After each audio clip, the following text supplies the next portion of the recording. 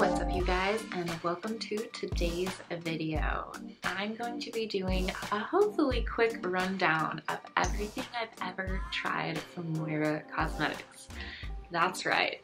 This is somewhat of a ranking video. Um, it's not necessarily like numeral, it's more like categorized as far as would not recommend, meh, okay, and then like the top favorites that I would recommend if you were to ask me what should I get? It's my first purchase.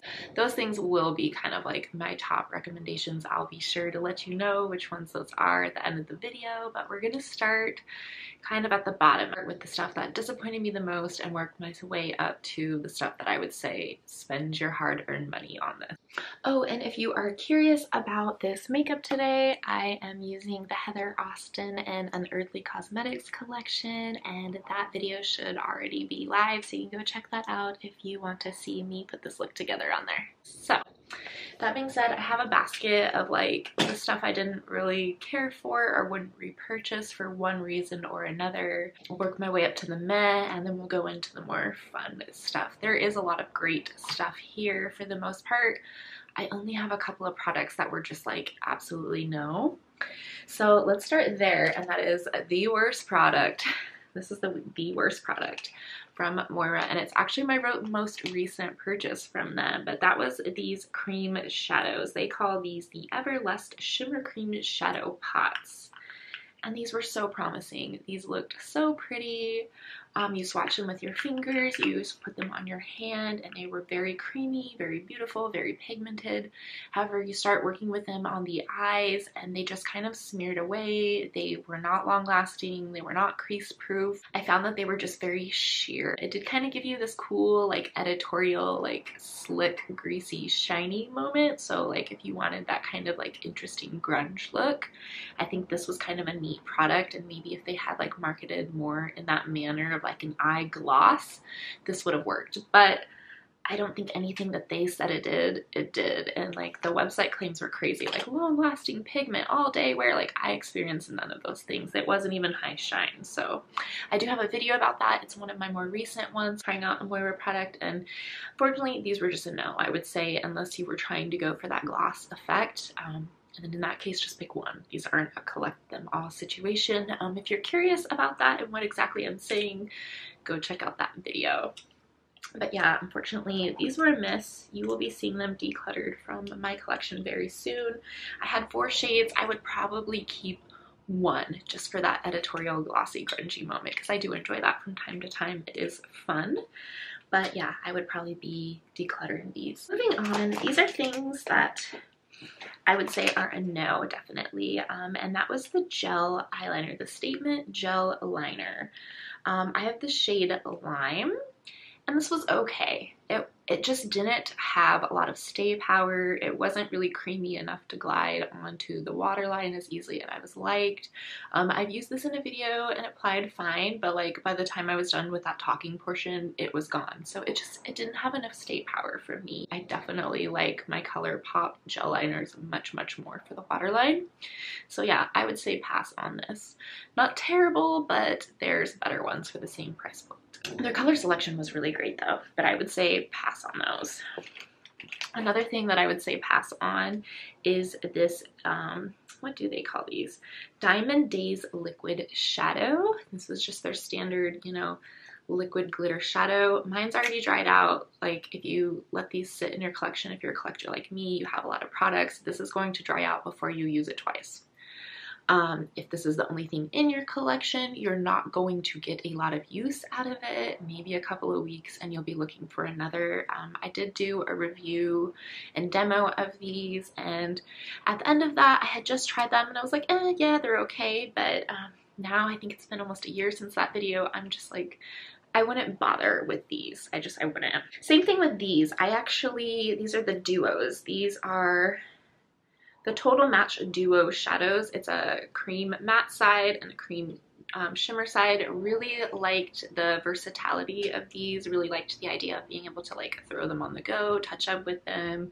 I liked the idea that they were long lasting, but I didn't get a lot of uses out of the shimmer. Like it's pretty much empty, kind of dries out. The component can't really reach the bottom, so what's there is gone. Um, I did really like the matte one, however. So if this was sold by itself, I probably would buy this, and I am keeping these around just for the matte. I don't think that these are worth purchasing on. So I definitely liked the matte shades, the shimmers. They were okay. They just, um, they were very low impact and didn't have like a huge high shine.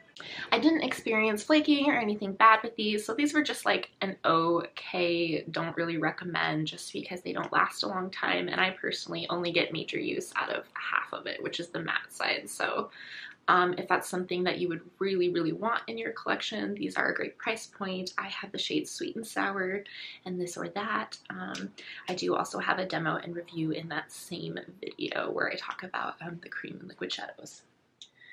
So pass on those. Next thing, um, these weren't bad products, but they didn't work out for me because of my personal preferences. So these are ones that are just like meh, but not really something I would recommend. And it's their brow products. I tried the Angled Brow Pencil. I have the shade Ash Brown, and it's one of the ones with like a wedge tip. And then I tried, um, I wanted like to try like, um, they call it a mascara, brow defining mascara. And I wasn't really sure what the difference between a mascara and a gel is. These, I don't know, it gave quite a bit of color, but it didn't last a very long time. The like component's a little too big for brows. It didn't have a long hold. So it just didn't quite hit the marks on things that I enjoy in like a gel brow product or a hold, which is usually I like to define and then I want to hold the hairs that I do have into place to kind of complement the shape I drew in. So this just was a mess, didn't have the hold I was looking for. If you like big fluffy brows, you have a lot of brow hairs, you just kind of want to touch up, this combo might be for you. I particularly like something with a stronger hold, a little bit more precise application, and I like doing a little bit more arched and defined brows, so I need smaller tip application. So pass on those for me. Okay, so this is where we're starting to go up a little bit more into the it's okay but not perfect realm, meaning like the product worked out for me, it did what it said, but there were just some issues that I had that didn't make me super excited about it. Um, however, there are things like if I did a declutter, I wouldn't be like, get out of here. It would be like, let's try it out, let's play a little longer. So that is the eye-catching dip liners for me from Moira. They're like they're liquid eyeliners. They came in a ton of fun colors. I did a whole video on these and you know there was a learning curve because I don't do like a lot of graphic liner looks. I don't do a lot of things like that. It was somewhat beginner friendly but I did find that like it was very much like nail polish where you can't apply too much at once. You know you want to do like a thin layer but you also can't layer too much or it'll get chunky. I started to experience like um, wrinkling to where it would kind of the product would dry and shrink and kind of grab at my eyelids. So yeah, there was a little bit of a learning curve, not the most beginner friendly for me. I had originally bought the brown one, loved it, loved the brown, didn't have issues. I think it's because I wasn't trying to do anything like fun and graphic and cool. It was just, you know, defining the look I did and be done. So I did like the brown, no issues with that. The colored ones, the final coup de grace for me to just be like, these just aren't my favorite was they did not wash off. I had such a hard time removing these and I used oils, I used lotions, I used all my typical balms and things that I use to remove like really heavy makeup.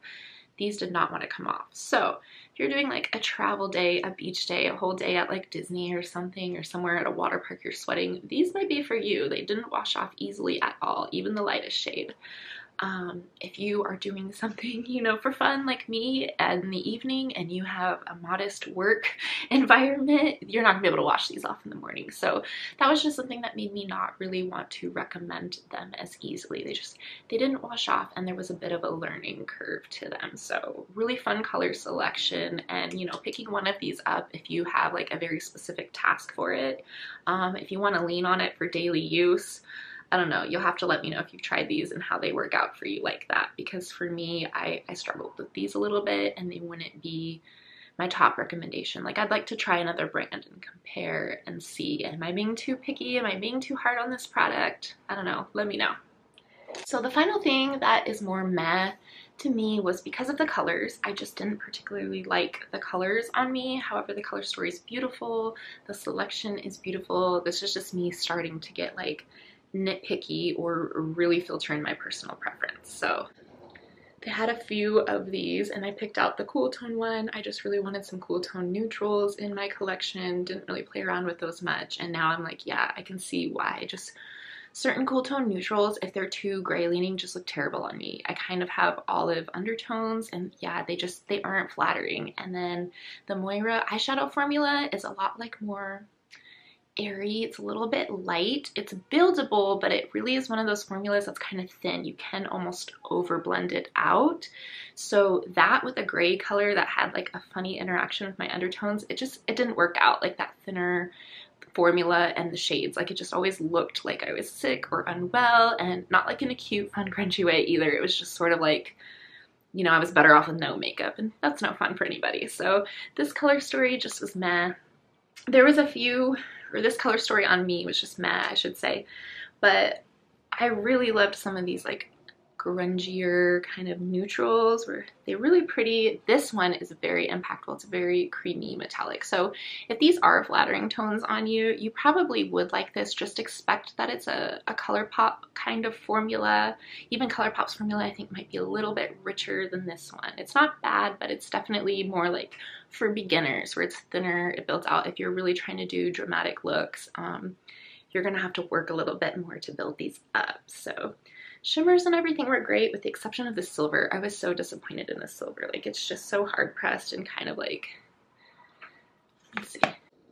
It just wasn't very impactful. And I have um, ColourPops on a onesie and that one is like the creamiest, most beautiful, most intense silver I own. And so nothing really compares to that, but the other shimmers in here were great. That silver was just like lacking. And I feel like that was one of the more exciting kind of punchy shimmers in here. So uh, Moira's shimmers do tend to be a little bit more on what I compare like luxury formulas. It is more toned down. It is more natural. It is very effortless, but it's definitely not like in the indie eyeshadow realm where you're getting these like three-dimensional sparkles and flips of color. So it's definitely more for like toned down everyday wear. This one would be kind of a pass for me. I might declutter it. I don't know. I keep it around because I still reach for it. But now that I have the ColourPop Taupe palette, I'm kind of reaching for that more than this. So I do enjoy having this. It's really pretty packaging, but they made it kind of like on the chunkier side. I don't think it's necessary. I do like the sleeker packaging that some of their other palettes, which I will show you next, have been. So that was it for like my bad bin, the meh. Now we're going into things that I really enjoyed, things that I repurchased, things that I liked. Um, some of it's still a bit more in the meh territory, but it's definitely in the good box. So let's move on to those. I'm going to start with the eyeshadow palettes just because I finished on the bad bin with eyeshadow palettes. So we'll just kind of transition into their eyeshadow palettes. I love these. This is from the Smoothie series and I did looks with the two and then I got this as a present. So I'd like to do this on my channel soon and play with these. But these are just like such beautiful um, kind of additions to my collection to really fill out some of these crazy indie sparkly palettes that I have because they're just what I call like a really clever monochromatic palette. You just, you have one tone and you have all these neutrals. Um, you usually have like one standard shimmer, more of a satin, and then a topper. So you're still getting like a variety of you're still getting a variety of like textures and formulas in here, but again, everything does kind of lean to me more on like that luxury side where everything isn't super punchy, nor is it really meant to be um, but I don't find that these are like disappointing either. So yeah, I really love these. Um, I mostly like to collect them for those neutrals. It's just really nice having these neutrals to lean on and they kind of are like tone for their colors. So these ones lean more yellow. These ones definitely have a berry undertone. And then these have like kind of a warm yellow leaning undertone as well really great palettes. So I'm pretty sure they still sell these. Some of them are, I think this green one's sold out. I don't know if they'll bring these back. I wish they would. And then yeah, I definitely prefer the sleeker over this like bigger, bulkier If you were curious about um, the Smoothie Series palettes and those are still available, they're definitely a recommendation for me. I like those. Okay, so now for the most part, everything is kind of in no order at all. It's either going to be okay or I absolutely recommend it, love it. So I have a primer here from Moira that I enjoyed. Um, I don't know that anyone would enjoy it quite as much as me. It didn't do like a whole lot as far as color correcting, but I really liked the way it kind of textured my skin. It really is like chapstick for the skin. It kind of smoothed things out. Um, it was very like hydrating. I do kind of tend to like beauty products with the buzzword balm in it. I don't know why, so that's admittedly here a little bias. But yeah, you can see like I'm almost done with this product. And this is the Dream Canvas Color Correcting Primer Balm in the shade green. Um, I've showed you guys this on camera before and you know, it's not life-changing as far as color correcting. The reason that it's not like the top recommendation, this is just like a few things away from me being like, yes, love this. And that was, I wanted to be able to use it without makeup. I wish it blurred and did a subtle color correcting without leaving a green cast and it did that. So I always felt like I had to put something on top of it continue my makeup process. You know it does say it's a primer it's not like a tinted anything but I just kind of wish that about it. I wish that I could just like leave this on my skin and just have like a blurring color correcting effect and be done. But unfortunately you can see that green cast and you need to continue your makeup so that's just something I wish it could do, just a magic component. They didn't claim to do that or say that it could, but um, I just find that it's like a little lacking. It's like an extra step that I often forget. However, when I do remember it, I really enjoy this product and I really enjoy the way my makeup goes on and the way that my skin feels and looks. So worth mentioning, if you're curious about it and like that kind of balmy texture on your skin, you would probably enjoy this one. Another one that I enjoy, I want to say like I don't like it, but then I continue to reach for it and use it and enjoy it. So these are kind of like in the okay category. Um, they're just like a little off from being perfect for me. And these are the Pro Long Priming Cream Shadows. I have two colors. I have the shade Rose Sand and the shade Beige. And basically one's just like a cooler color a little bit leaning mauve. This one's leaning a bit yellow. And these I actually like for like no makeup days. I take my ring finger and just tap it over my lids as more like a concealer. Um, I find that I continuously have to check on it and like make sure I'm not creasing or I need to set it with powder. My complaint with this and honestly with a lot of Moira products is that it just makes my lids look a bit textured, like they look a little dry. And then when you have to set with powder and I'm putting eyeshadow on top, it can just be a bit much. So if I can just do a little bit of concealing on a no makeup day, I enjoy these. They do make a nice affordable base, but I wouldn't say like go collect them all. They're life changing for makeup. I would say instead of buying two like I did, go pick up a matte MAC paint pot. I just think that those were like a little bit better base for makeup without like the drying element that these tend to have. They just could kind of added a little bit of texture and dryness to my eyelids that I don't really need. I'm not saying it's not there, but I don't need to accentuate it. So that's my complaint with these that just didn't tip it over the edge from okay to recommend. Not a bad product by any means, but just not perfect. Same thing with these. I, I wanted to like these. I'm continuing to use these. There's nothing about them that's like, oh, bad bun, but they just aren't the smoothest. Like my skin is just a little too maybe mature, drier textured for these products. They just tend to sit on top and accentuate those things. And again, I'm not saying they're not there.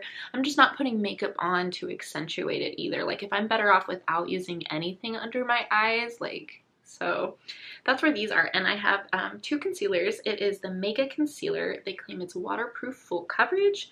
And then I have the Lavish Creamy Concealer.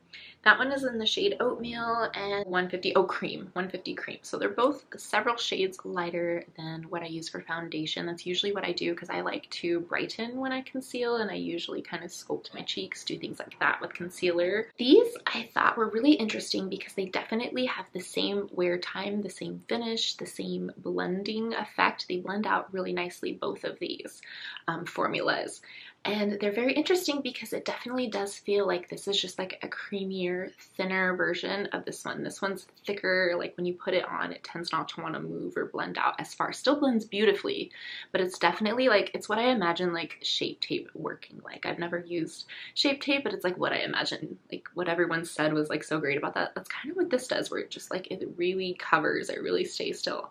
Again, I find I get a lot of drying texture, something that, you know, is there, but these just tend to accentuate it. Um, if I had to pick between the two or make a recommendation, I think I would repurchase the creamy one. It just seems to do a little bit better on my skin.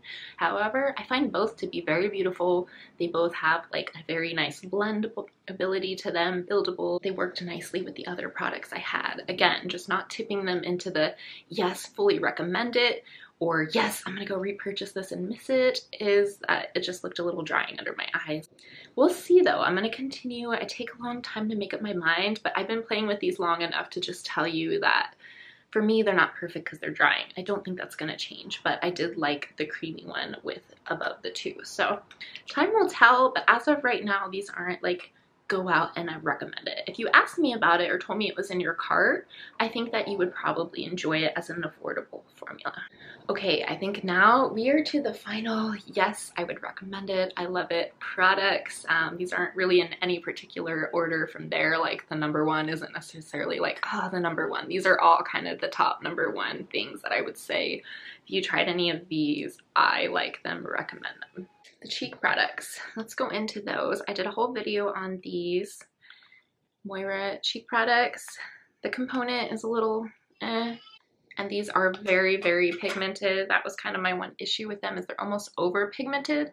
Now, someone was kind enough to let me know that a better way to use these is with a giant brush and you dip in and then you glide it on and you're supposed to get kind of this gradiented effect. And with a bigger brush you're not picking up quite as much pigment. So that was like the intended use. So I thought that was really interesting. I have tried that off camera and I don't know, it didn't really work out for me as far as being able to see all the colors and things, but I did appreciate that comment and that feedback because I was like, oh, okay, that makes sense as to why the heck these are so pigmented.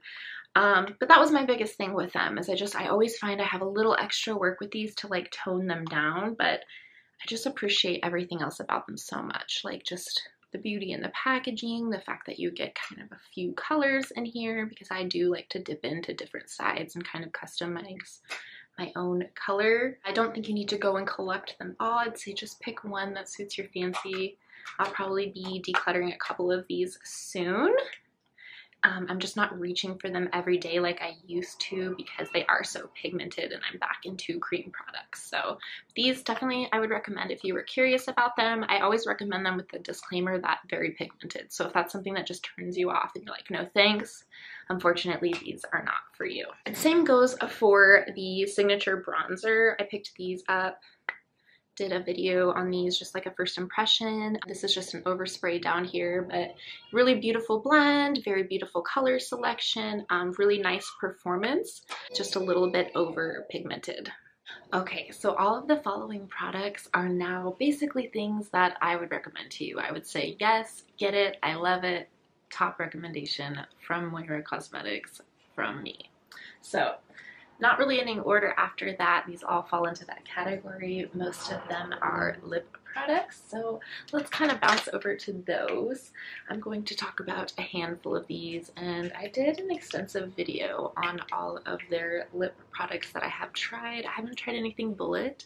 So what I have tried is what I believe is called their plush cream which is just like kind of like a cream lipstick in this sort of component. It doesn't dry down or anything. Really nice. If you like the M Cosmetics Lip Clouds, I believe is what they're called. That's one of my favorite formulas. This reminds me a lot of that. You like this and I don't know if you can kind of tell light's kind of washing everything out. It's very hard to tell even in person, but one is like a vanilla and one is like a rose lid but they both have like the really pretty components. This one has butterflies, this one has hummingbirds. really pretty packaging from Moira.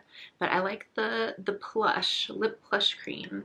And then the one that dries down is their Lip Divine, and that's their liquid lip formula. I have a whole swatch video on this and the following. Really like these, so I have four different shades from them. Enjoy them all. This is kind of my go-to lip formula and it's affordable. So yeah definite win. I would definitely say try these out. Um, they're very comfortable. They're long wearing. Um, i wouldn't say they were like the most bulletproof but you can apply them over themselves just like a really nice formula. And i have a whole video about that and you can see the colors. But the other one that is in the video i'm mentioning is their lip crush. So there's a plush and this is the crush. I'm not sure if this is being discontinued. There are still some on the website. Um, this is a really nice formula too a bit more like liquidy, a little bit more moussey. Um, it's somewhere in between like a dry down matte and a cream. It's nice. I like it. This is in the shade Butterflies. It's like a burnt orange. It's really pretty. So I recommend all of those three different formulas. Really, really pretty. The last lip thing that I tried and really, really liked, would definitely recommend specifically in this color is Red Hot. I'd like to try another color and see if the pigmentation varies or if it's all like this much, but this is their Luminizer Lip Gloss and it is really red. It's a really pretty. It's a very pigmented, so it is like putting on like a lipstick, but it's like a high shine red and it's very like juicy and bright. So, so pretty. I really enjoyed this one and I like it a lot, so I would recommend this product from Moira as well, especially if you like a red gloss, try this one. For eyeliners, you know, I gave that other one kind of a harsh review and the other one was kind of a, the liquid one was like a meh, but these two I do recommend and I do like. This one was their glitter liner. Think it's just called, yeah, Glitter, Glitter Glitter Liner. And this is in the shade Pink Aurora. It's so pretty. I really liked this one. This one stayed really put for a very long time. It was easy to apply. There's different size glitter particles in there and I did find that I could kind of like control some of the bigger ones and do placement with a few layers. Like they didn't flake off. They layered with those liners pretty nicely. So, so far I really like this. Um, I am starting to run out but this is just a really fun one. Even though the glitters didn't really flake off or anything, it'd still say like be really careful around the eyes. I was applying mine more in like a graphic liner situation up here. Um, I probably would personally stay away from like the lower lash line, but I bet you could like drawing little teardrops, things like that, like more artistic things. Really, really cool and pretty. So I like that formula a lot. Um, the next one I really like was this Jumbo Liquid Liner. I believe they have a precise one as well. I liked this one. It definitely is like jumbo. It looks like a little marker or Sharpie or something. It doesn't apply or feel like one. I don't like when um, liquid eyeliners feel like they're very like alcohol based, like you are putting some kind of weird marker on there. I don't like that. So this was really nice. I found that I could do a thicker application or a more precise one. So it's pretty versatile. Stayed put. Um, Um, stayed all day, but I didn't have to like wear it the next day. I could wash it off when I was ready. So yeah, really liked this product and would recommend it. And I believe this is just in the shade black. Yeah, they did have a couple other colors. I think a brown. It'd be interesting to try their brown, but liked the black one. Next is the first thing I think I ever tried from Moira, and it is their Lucent Cream Shadows. And this is just like an oily based like glitter topper. I say oily based, but like that's kind of how it feels. It's more slick and clear. I really liked these as a topper. They had really pretty like shifting colors. I liked the selection. I have more gone over these too, but I have more like just like topper luminizers. I'd like to use these up and kind of get rid of them in my collection, but for people wanting to dip their toes into Moira and try these out, I would say these are fun. Just know that they're more like sheer toppers. This one is a bit more on the pigmented side, but I still reach for more powders when I want this kind of deep shade. I don't usually have a lot of creasing with these. They do wear for a while, but they don't like fully set down. They do kind of stay like glossy and things. So in the long run, like if I was wearing these for a very long time, these do crease. So especially on me, but like initially they're fine. And it is something that you can layer with other products like your eyeshadows and things. I don't have an issue. Next is a very, very beautiful powder. This is like an interesting one where um, it comes in like this potted formula and it's like loose but at the same time it's kind of not it's no more loose than like dipping into an eyeshadow palette that has like a flaky formula that kind of like picks up particles but then like melts into the skin. That's, at least with these two shades, how I experienced this particular formula from Moira. And they call this they're Star Show Shadow Pots, and I have the shade Fantasy, which is like a rose gold leaning mauve, really pretty. And then I have OMG, which is kind of like that teal to gold flip with like a reddish pinkish base. This one's really special because there's also like a pink reflect in there so it's hard to catch but really really pretty I loved the application of these it was just like putting like little like flecks of metal like foil metallic goodness like in the best way it was just like like liquid metal it just like blended right in I really enjoyed these um, really high shine, really pretty. I found that they stayed on for quite a while. I'd like to play with them more just see how they mix with other things, but they're really, really nice. Again, they're like a loose formula, but a bit more like creamy like feeling. I don't know, it's really interesting. I liked these and I'd be interested to try more colors, but like right now I want to use what I have in my collection. I definitely have added a lot over the last few months. I would recommend that formula for sure if you're looking for like a single potted high shine um, shadow okay, this might be it. This might be the last thing. This is probably my most favorite product from Moira, and that is their Love Heat Cream Blush. I have the shade I Respect You. They just released some new shades. I can't wait. Um, I hit pan. It's not really hard to hit pan in Moira products. My favorite way to apply this cream blush is with the e.l.f. Putty Brush. It's just like this short-handled one. Um, putty Primer Applicator. I use this for all my cream bronzer and cream blushes. And yeah, this combo, love it so much. I find that this isn't really like a sticky kind of blush, even though it does have a little bit of like a shine to it. It's kind of more of that glow within. Um, it's not like glossy feeling to the touch or even like looking. So really, really pretty. So a lot of people are probably talking about this right now since they just launched like all new colors and you know people are talking about this brand a bit more than they used to. But yeah, this is probably my favorite product from them and the thing that I would recommend to someone looking for a product like this. Like really, really pretty. Enjoy this a lot. I find I don't have to set this down. Like I could keep going on and on about this product and I probably will in the future pick up one more shade once I'm close to running out. I like this one for its neutrality and it seems like they have a lot more in this color family but like deeper and lighter like where this would be like the mid-tone of that shade so I'm kind of eyeballing those and thinking to myself that I would have fun with one of the deeper ones, but I don't really know. I say that and then I think about, you know, the pigmentation of these and how I immediately, when I put it on, felt like so overdone in a way that I don't like and I'd have to touch it down. So yeah, we'll see. I, I lean towards those deep shades, but then I wonder if I'll have that issue. So that is the roundup. I have tried a lot in the last, I'd say, three years, Moira products and discovering the brand. Um, for a while, I couldn't be stopped with trying new things. I think I've pumped the brakes now because they seem to be re-releasing a lot of the same things, but in a different component or a slightly different formula. So I kind of have the shades already in at least two formulas from them, you know. So I think I'm kind of pumping the brakes for now. The lip products are definitely the I'm interested in. They seem to be a hit in like all the categories I've tried. That's it for today. That's the rundown. I hope this was entertaining. I hope this was also helpful. I hope you enjoyed this video and I can't wait to see you in the next one.